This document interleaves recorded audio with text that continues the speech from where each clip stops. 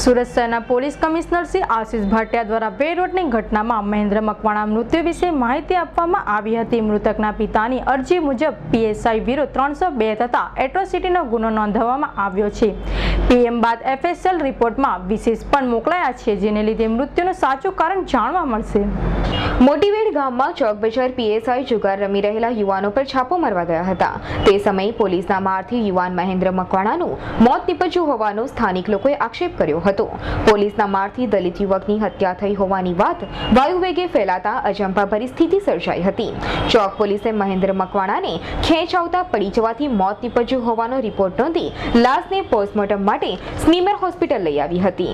જો કે રાત્રે મોટી સંખ્યાના અગ્રણીઓ સ્નીમર હોસ્પિટલ ખાતે હાજર રહ્યા હતા, જેના પગલે જ્યાં સુધી મહેન્દ્ર મકવાણાનો હત્યારો પકડાય નહીં, ત્યાં સુધી લાશને અંતિમ વિધિ માટે નહીં લઈ જવાનો નિર્ણય લેવાયો હતો.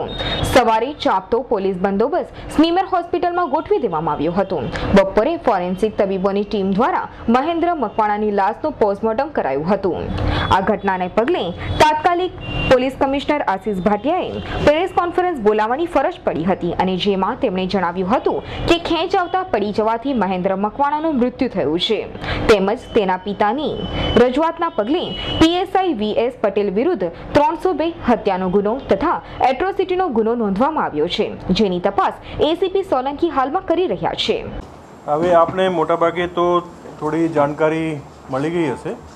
આ ગઈકાલની કમનસીબ ઘટના છે. અમારા ડીસીપી ઝોન થ્રી છે, એમને પોતાના વિસ્તારમાં એક ડ્રાઈવ રાખી હતી.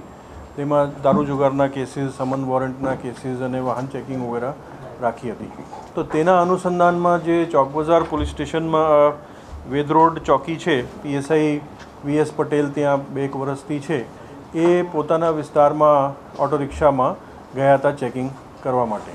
ત્યારે આ જે વિસ્તાર છે, એની અંદર મોટી વેડ ગામ નાયકાવાડ ત્રણ રસ્તા પાસે અમુક લોકો, પાંચ છ લોકો આમ ગોલ સર્કલ કરીને બેઠા હતા.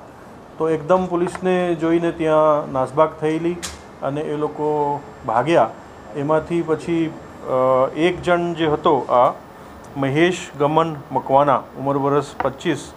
એ ટેમ્પા ઉપર બાટલી બોટલ્સ વગેરે વેચવાનું ધંધો કરે છે. એ ત્યાં હતો અને ત્યાં અચાનક એ ત્યાં પડી ગયા.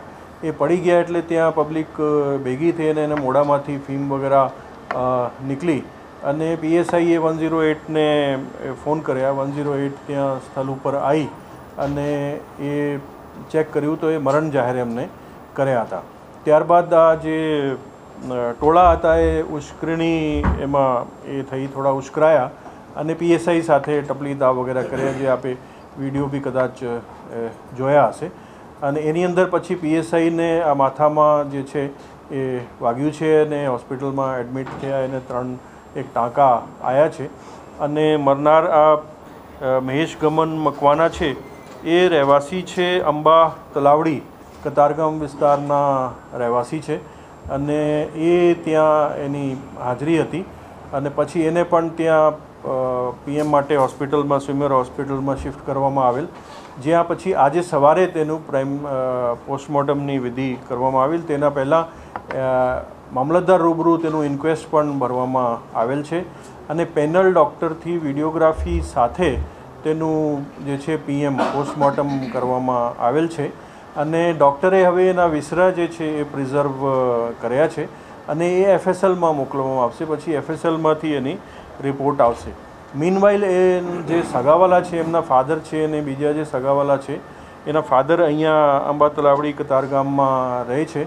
એમના આગ્રહ હતા કે ભાઈ આવી રીતે બનાવ બન્યા છે તો ગુના દાખલ એમાં કરવું જોઈએ. તો અમે એમની લિખિત ફરિયાદ ત્યાં હોસ્પિટલમાં જ લેવામાં આવેલ છે.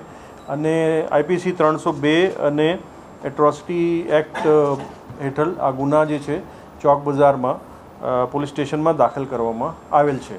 હવે એ જે તપાસ છે, એ HI Solanki ACP A division છે, જે બીજા ડિવિઝન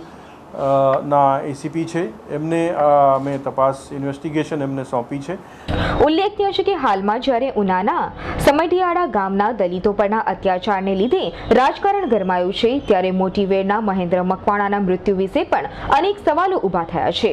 ખરું સત્ય તો પીએમ રિપોર્ટ બાદ જ બહાર આવશે. Bureau report S nine